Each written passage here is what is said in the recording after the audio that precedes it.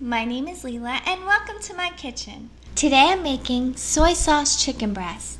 Now traditionally a whole chicken is used for soy sauce chicken, but I'm just going to use the breasts and they're going to be braised in a soy sauce broth and it's going to make the meat flavorful and soft. So let's go ahead and get started.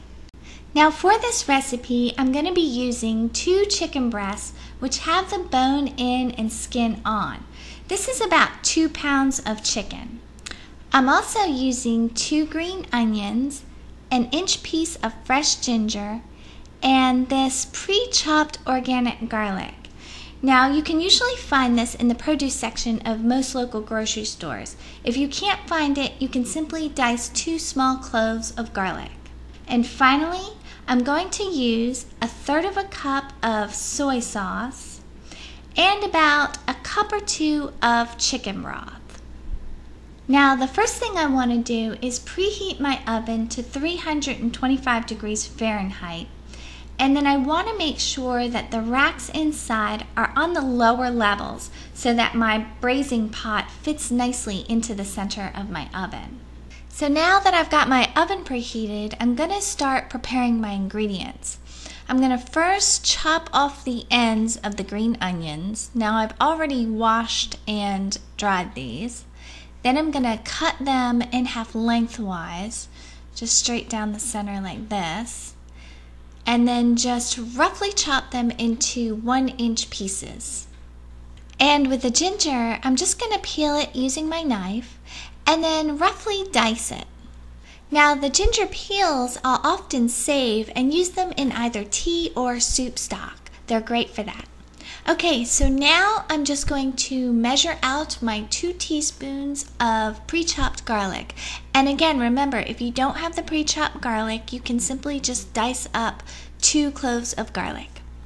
So now that I've got all of my seasonings prepared, I'm going to place my two chicken breasts inside my braising pot. And I'm going to poke the skin just lightly, and this is going to help the chicken soak up all of the flavors of the soy sauce base. And once they're poked, I'm going to evenly pour on the soy sauce. Now I just want to kind of get the tops all soaked with the liquid. Then I'm going to add the chicken broth. Now I'm just going to add this until it reaches halfway up the chicken breast. Then I'm going to add the seasonings, just distributing them evenly. The garlic, the ginger, and the green onions so that they're evenly around the chicken. Now you can make more chicken with this recipe. Like sometimes I do three or four breasts using the same amount of seasonings, but a little bit less broth because you just want it to come halfway up the chicken. Okay, so now I'm just gonna place the lid on and place it in the oven for an hour and a half. Now this is gonna take a total of five hours to cook, but after an hour and a half, we're actually going to flip the chicken. So now that it's been cooking an hour and a half, I'm just carefully removing the lid and then I'm going to flip the chicken over. Now at the same time here, you want to make sure that the liquid hasn't boiled out. I know in some um, braising pots, the liquid tends to evaporate quicker.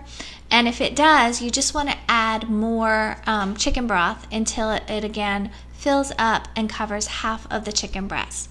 So now I'm just going to place these back in the oven for another two hours. Now again, after two hours, I'm going to remove the lid and flip them back over. Now, this next time, I'm going to place them in the oven without the lid on and cook it for another hour and a half. I'm also going to raise the temperature to 350 degrees Fahrenheit. Okay, so now once it's done, just be careful taking it out of the oven with no lid on. And to serve it, what I usually do is cut the breasts off of the bone, slice them, and then drizzle some of the juice or the liquid from the pan on top of it.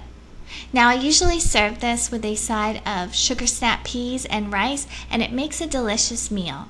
So I hope everyone enjoyed this recipe and I thank you all for watching. Have a wonderful day.